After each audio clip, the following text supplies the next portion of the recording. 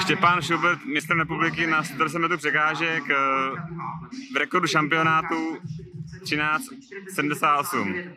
Co tomu říkáte, jak jste spokojený s, s naším výkonem? Tak, jsem spokojený, ale vůbec jsem to nečekal. Tady v tom horku to je hodně těžký.